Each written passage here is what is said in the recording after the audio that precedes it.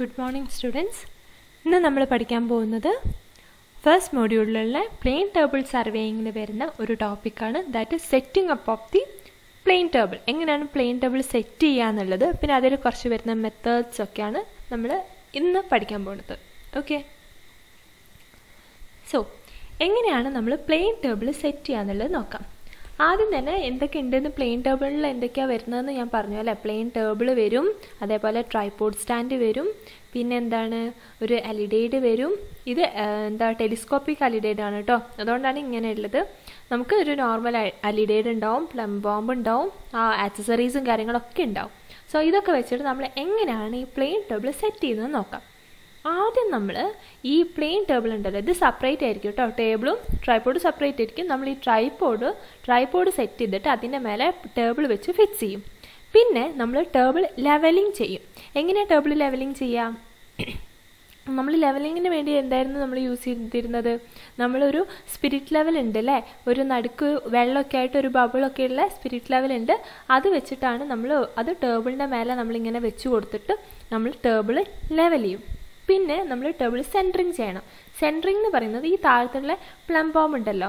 അത് താഴെ നമ്മൾ പോയിന്റിൽ എവിടെയാണോ ഉള്ളത് ആ പോയിന്റ് കറസ്പോണ്ടിങ് ആയിട്ട് നേരെ ഇത് വരണം. സോ അങ്ങനെയാണ് നമ്മൾ ടേബിൾ സെന്ററിങ് ചെയ്യുക. പിന്നെ എന്ത് ചെയ്യും?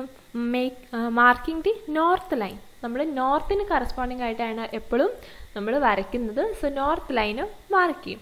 പിന്നെ ലാസ്റ്റ് ചെയ്യുന്ന മെത്തേഡാണ് ഓറിയന്റേഷൻ ഓറിയന്റേഷൻ എന്ന് പറയുമ്പോൾ നമ്മൾ ഈ നമ്മൾ ആളെ വരച്ച് നമ്മൾ ടേബിൾ റൊട്ടേറ്റ് ചെയ്താലും ടേബിൾ ഒരു സ്ഥലത്തു നിന്ന് വേറൊരു സ്ഥലത്തേക്ക് ഒരു ഒരു പോയിന്റിൽ നിന്ന് ഒരു സ്റ്റേഷനിൽ നിന്ന് വേറൊരു സ്റ്റേഷനിലേക്ക് എടുത്ത് മാറ്റിയാലും നമ്മൾ റീഡിങ്സ് ഡയറക്ഷൻസ് മാറാതെ അങ്ങനെ തന്നെ ആദ്യം വെച്ച് അതേ ഡയറക്ഷനിൽ രണ്ടാമതും വെക്കണം.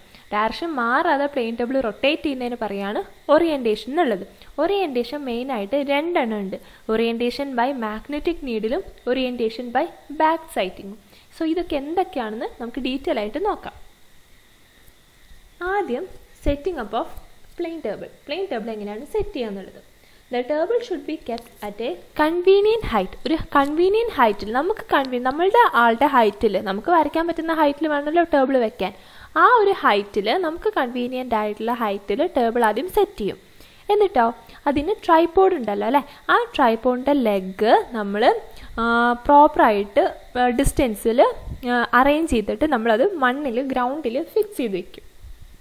അങ്ങനെയാണ് ടേബിൾ സെറ്റ് ചെയ്യുന്നത്. ഒരു അപ്രോക്സിമേറ്റ് ലെവലിൽ നമ്മൾ ലെഗ് എന്ത് ചെയ്യും? ഫിറ്റ് ചെയ്ത് വെക്കും. നമ്മൾ നോക്കണം.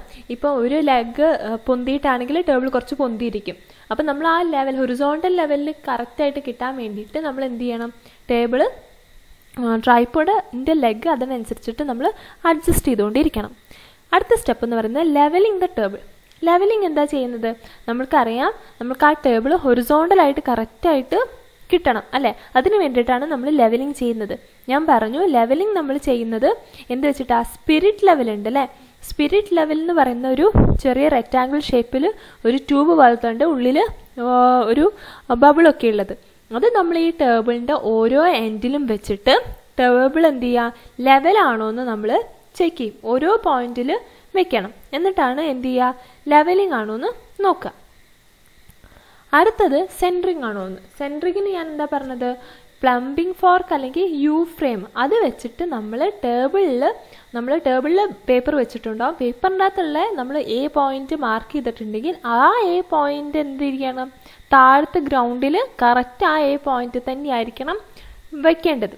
എവിടെയാണോ പേപ്പറിൽ മാർക്ക് ചെയ്ത് അതേ പോയിന്റ് താഴെ നോക്കുമ്പോൾ ഗ്രൗണ്ടിൽ ഉണ്ടായിരിക്കണം. ആ എ പോയിന്റ് സോ അതാണ് സെൻട്രിങ് എന്ന് പറയുന്നത്. സെൻട്രിങ് നമ്മൾ ആ പ്ലം ബോംബ് അതേ താഴത്തുള്ള ഗ്രൗണ്ടിലുള്ള എ പോയിന്റിൽ വെക്കുകയാണെങ്കിൽ സെൻട്രിങ് ചെയ്തത് നമ്മൾ ശരിയാണ്.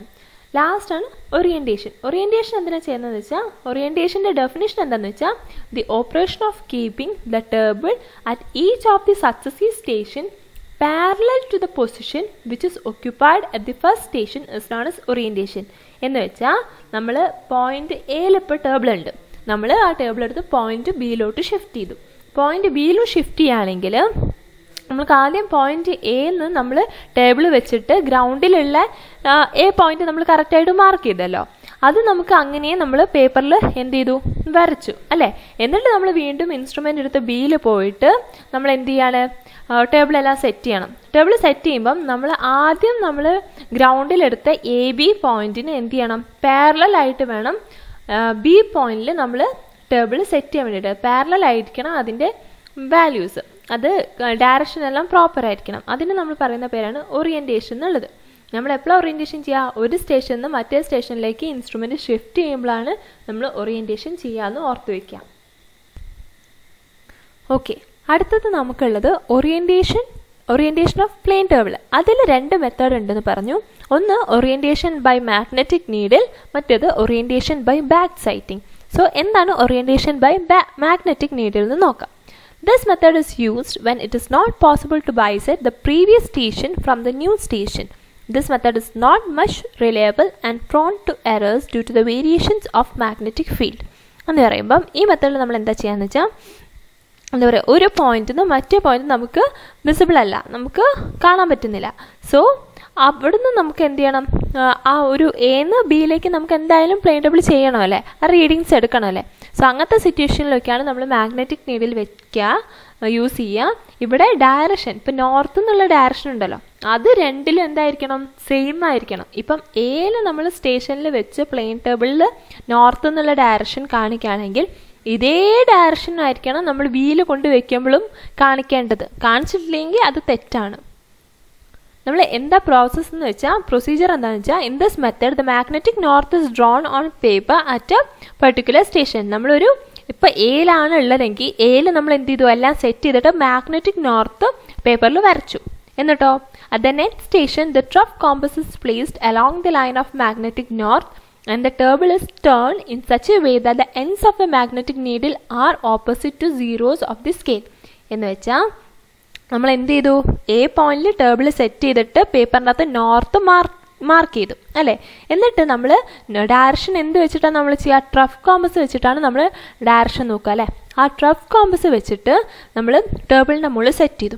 എന്നിട്ട് നമ്മൾ ടേബിൾ എന്ത് ചെയ്തു ടേൺ ചെയ്തു. ഈ ട്രഫ് കോമ്പസിന്റെ അകത്ത് ഈ ഒരു നീഡിലുണ്ടാവും ആ നീഡിൽ എവിടെയും തട്ടാൻ പാടില്ല. പരസ്പരം സൈഡിലോട്ടൊന്നും തട്ടാൻ പാടില്ല.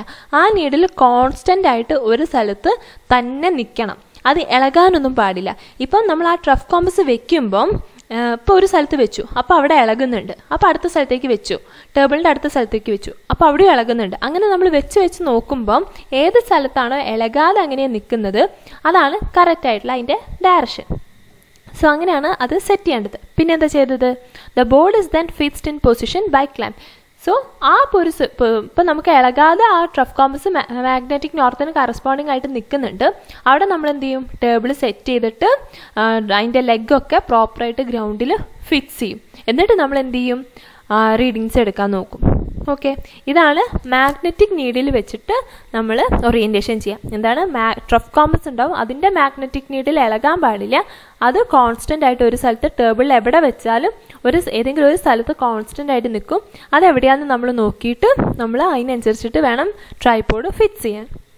അടുത്തത് എന്ന് പറയുകയാണെങ്കിൽ അടുത്ത ഓറിയന്റേഷൻ എന്ന് പറയുകയാണെങ്കിൽ orientation by back sighting so എങ്ങനെയാണ് നമ്മൾ ബാക്ക് സൈറ്റ് ചെയ്യുക നമ്മൾ ഇതിനു മുമ്പേ കോമ്പസിൽ പഠിച്ചു അല്ലേ ഫോർ സൈറ്റിങ്ങും ബാക്ക് സൈറ്റിങ്ങും ഒക്കെ. സോ അതേ മെത്തേഡ് തന്നെയാണ് ഇതിൽ നമ്മൾ നോക്കുന്നത്. എന്താണ്? ടേബിൾ വെച്ചു. ടേബിൾ ഒരു പോയിന്റ് സ്റ്റേഷൻ എയിൽ നമ്മൾ വെച്ചു. അപ്പം നമുക്ക് എന്ത് ചെയ്യാം? ഒബ്ജക്റ്റ് കാണാൻ വേണ്ടിയിട്ട് നമുക്ക് എന്തുണ്ട്? ഒരു അലിഡേറ്റ് ഉണ്ട് അല്ലേ ഒബ്ജക്റ്റ് വെയിനും ഐ വെയിനും ഉള്ള ഒരു അലിഡേറ്റ് ഉണ്ട്. ആ അലിഡേറ്റിൽ നമ്മൾ എന്ത് ചെയ്യുന്നു വെച്ചാൽ അലിഡേറ്റ് വെച്ചിട്ട് നമ്മൾ ഒബ്ജക്റ്റ് മാർക്ക് ചെയ്യും. ഒബ്ജക്റ്റ് മാർക്ക് ചെയ്തിട്ട് എന്ത് ചെയ്യും? ഒബ്ജക്റ്റ് മാർക്ക് ചെയ്തിട്ട് നമ്മൾ ഇതാ ഇവിടെ നമുക്ക് എന്തുണ്ട്? അതിന്റെ റീഡിങ്സ് ഒക്കെ ഉണ്ട് അല്ലേ? അത് റീഡിങ്സ് ഒക്കെ നമ്മൾ സ്കെയിലൊക്കെ വരച്ച് നമ്മൾ എന്താണ് ആ വാല്യൂസും മാർക്ക് ചെയ്യും ആ ലൈനും മാർക്ക് ചെയ്യും. എന്നിട്ട് നമ്മൾ എ പോയിന്റിൽ മാർക്ക് ചെയ്തു. അതേ ഇത് നമ്മൾ ബിയിൽ കൊണ്ടുവച്ചിട്ട് ബിയിൽ നിന്ന് തിരിച്ച് എയിലേക്ക് നോക്കുമ്പം നമുക്ക് കാണണം. പ്രോപ്പറായിട്ട് നമുക്ക് ആ ഒരു ലെവലിംഗ് സ്റ്റാഫ് നമ്മൾ അല്ലെങ്കിൽ റേഞ്ചിങ് റോഡ് നമ്മൾ ഫിക്സ് ചെയ്തിട്ടുണ്ടാവും അല്ലേ? ആ റേഞ്ചിങ് റോഡ് പോയിന്റ് എയിൽ നമ്മൾ ഒരു റേഞ്ചിങ് റോഡ് വെച്ചിട്ടുണ്ടാവും.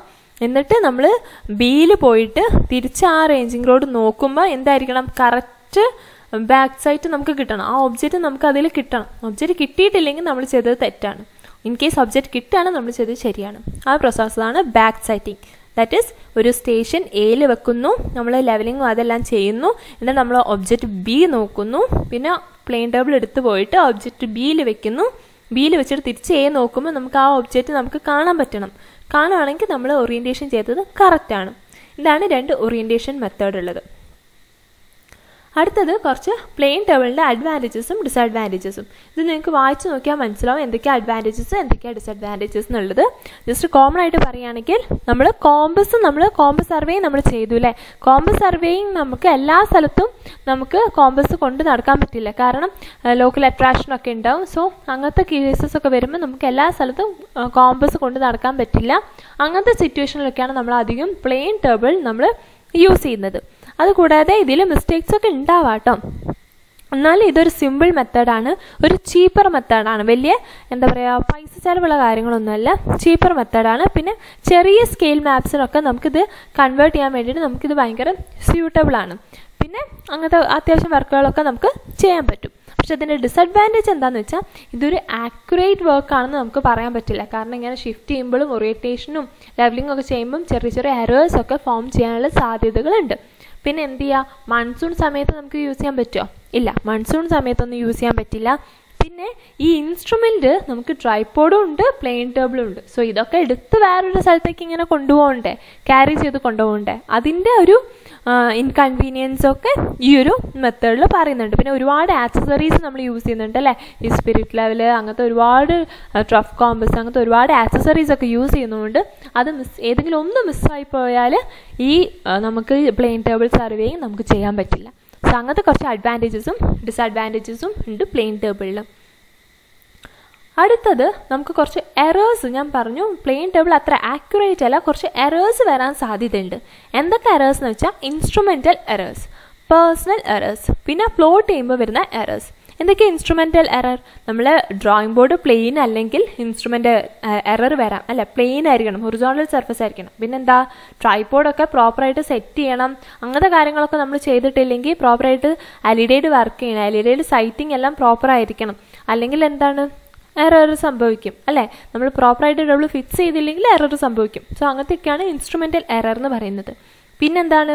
പേഴ്സണൽ എറർ പേഴ്സണൽ എറർ എന്ന് പറയുന്നത് എന്താണ്? നമ്മൾ ലെവലിംഗ് ചെയ്യുന്നതും സൈറ്റിംഗ് ചെയ്യുന്നതും ഓറിയന്റേഷൻ ചെയ്യുന്നതും സെന്ററിങ് ചെയ്യുന്നതും ഒക്കെ നമുക്ക് എന്താ പറയുക തെറ്റുകൾ സംഭവിക്കാം അല്ലേ? പേഴ്സൺ ഒരു പേഴ്സണിന് തെറ്റുകൾ സംഭവിക്കാം. അങ്ങനെ വരുന്ന എറേഴ്സാണ് പേഴ്സണൽ എറേഴ്സ് എന്ന് പറയുന്നത്. അടുത്ത പ്ലോട്ട് ചെയ്യുമ്പോഴുള്ള എറർ നമ്മൾ സ്കെയിലോട്ട് കൺവേർട്ട് ചെയ്ത് സ്കെയിലിൽ വരയ്ക്കുമ്പം നമുക്ക് വരുന്ന എറേഴ്സ് ഒക്കെയാണ്. പ്ലോട്ട് പ്ലോട്ട് ചെയ്യുമ്പോൾ വരുന്ന എറേഴ്സ് സോ നമ്മൾ പ്ലെയിൻ ടേബിൾ ഇതോടെ കഴിഞ്ഞു.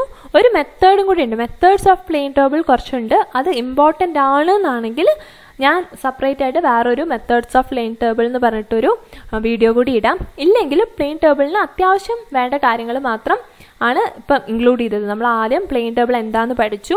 പ്ലെയിൻ ടേബിളിന്റെ പ്രിൻസിപ്പിൾ പഠിച്ചു. പിന്നെ ഇൻസ്ട്രുമെന്റ്സ് എന്തൊക്കെ ഇൻസ്ട്രുമെന്റ്സ് ആണ് നമ്മൾ പ്ലെയിൻ ടേബിളിൽ യൂസ് ചെയ്യുന്നതെന്ന് പഠിച്ചു. പിന്നെ എങ്ങനെയാണ് നമ്മൾ പ്ലെയിൻ ടേബിൾ സെറ്റ് ചെയ്യുന്നതെന്ന് പഠിച്ചു. ആ സെറ്റിങ്ങിലാണ് നമ്മൾ ഓറിയന്റേഷൻ പഠിച്ചത്. ഓറിയന്റേഷൻ സെപ്പറേറ്റ് ആയിട്ട് ചോദിക്കുന്ന ഒരു ക്വസ്റ്റനും കൂടിയാണ് കേട്ടോ. വാട്ട് ഇസ് ഓറിയന്റേഷൻ മാത്രമായിട്ട് വേണമെങ്കിൽ ചോദിക്കാം. അതിൽ രണ്ട് മെത്തേഡ്സ് നമ്മൾ പഠിച്ചു. പിന്നെ നമ്മൾ കുറച്ച് അഡ്വാന്റേജസ് ഡിസഡ്വാന്റേജസ് പിന്നെ കുറച്ച് എറേഴ്സ് വരുന്നത്. ഇത്രയും കാര്യങ്ങളാണ് പൊതുവേ ഒരു പ്ലെയിൻ ടേബിളിൽ ചോദിക്കുകയാണെങ്കിൽ ഉണ്ടാവുക. മെത്തേഡ്സ് കുറച്ചും കൂടി അഡ്വാൻസ്ഡ് ആണ്. പ്ലെയിൻ ടേബിളിൽ വരുന്ന കുറച്ച് അഡ്വാൻസ്ഡ് പോർഷനാണ് മെത്തേഡ്സ് നമ്മൾ യൂസ് ചെയ്യുന്ന പ്ലെയിൻ ടേബിളിൽ വരുന്ന കുറച്ച് മെത്തേഡ്സ് ഒക്കെ അത് ഇൻ കേസ് ആവശ്യമുണ്ടെങ്കിൽ വേറൊരു വീഡിയോയിൽ ഞാൻ പറയുന്നതാണ്. Okay thank